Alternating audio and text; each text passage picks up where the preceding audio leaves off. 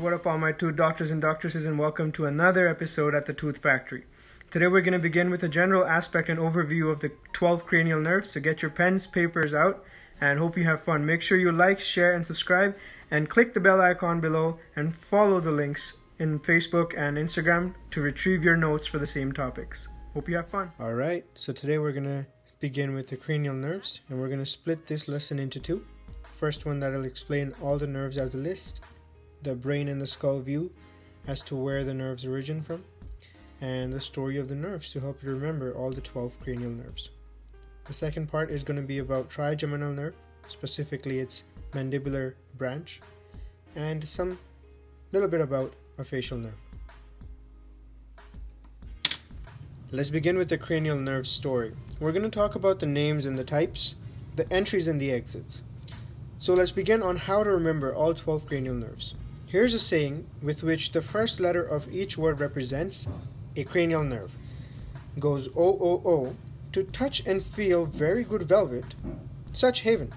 O is olfactory, O is optic, O is oculomotor, 2 is trochlear, touch is trigeminal, and is abducent, feel is facial, berry is vestibulocochlear, good is glossopharyngeal, velvet is vagus, such a spinal accessory, haven is hypoglossal. Now each nerve has a different function. It could be either sensory, motor, or both. So let's take a look at a saying that'll help you remember the functions. Some say marry money, but my brother says big brains matter more.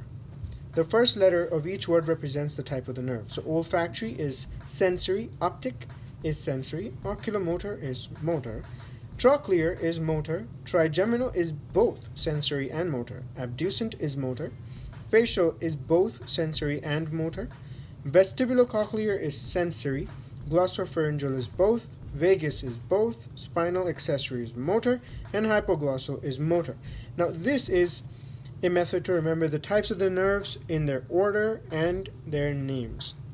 Now, there's one more homemade story that I'd like to explain in order for you to remember most of the nerves.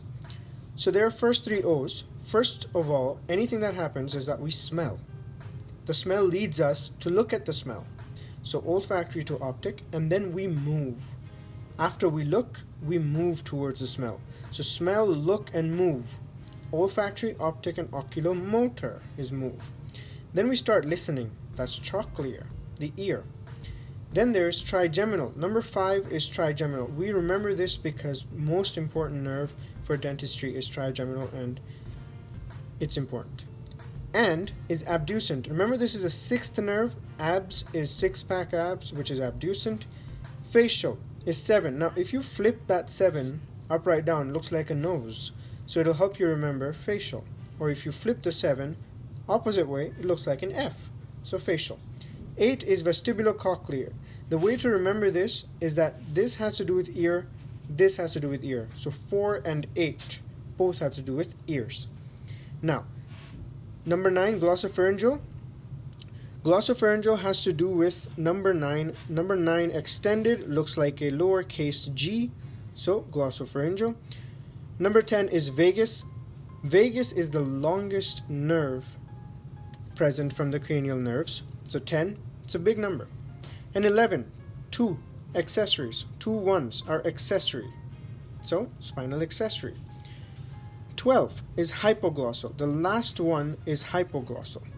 Has to do with the tongue and the function of the surrounding muscles and structures. Hope that story helped as well. Let's move on to the entry and the exits. Now,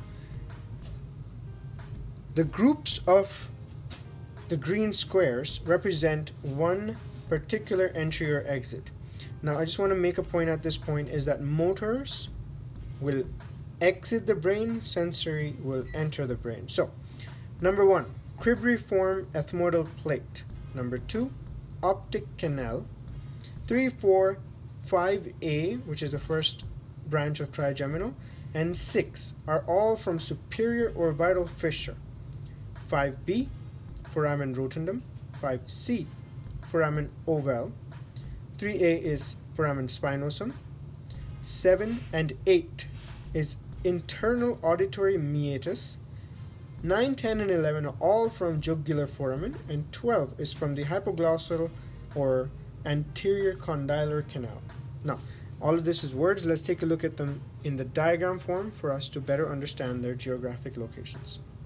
All right, let's view the skull from the superior perspective in order to view all of these nerves, entries and exits from all of their anatomical structures as we mentioned earlier.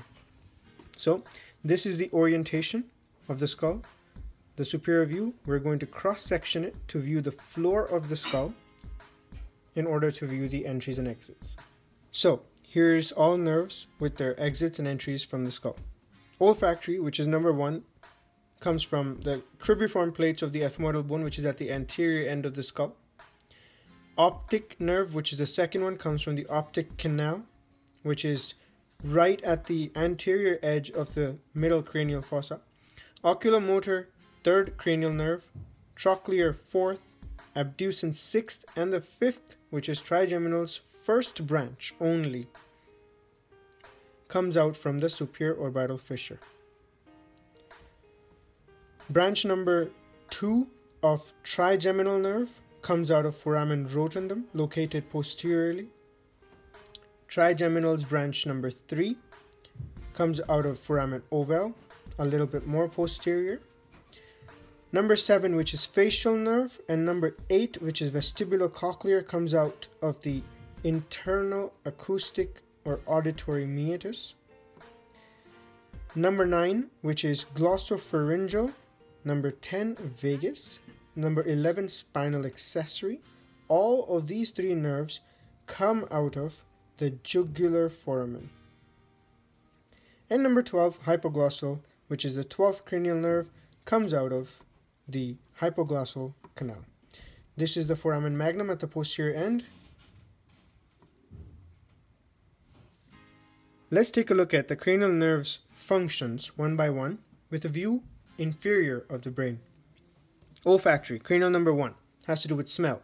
Optic, number two, has to do with vision. Oculomotor, number three, with the movement of the eye up and down. Trochlear, number four, specifically down movement in the eye. Trigeminal, with all their three branches separate, has to do with touch and facial movements and sensations from the oral cavity and surrounding structures. Abducent, number six, has to do with looking side to side. Facial, number seven, associated with the anterior two third of the tongue and making a smile. Vestibular cochlear, number eight, has to do with hearing equilibrium. Number nine, glossopharyngeal, has to do with the posterior one third of the tongue and speech. Vagus nerve, which is the tenth nerve, is for digestion and heart rate. Remember, it's the longest one, reaches all the way down to the abdomens. Accessory, which is the 11th, has to do with laryngeal muscles. And hypoglossal, which is number 12, associated with tongue movements, so muscles of the tongue. This is the cranial nerve, and we're going to move on to trigeminal in the next lesson.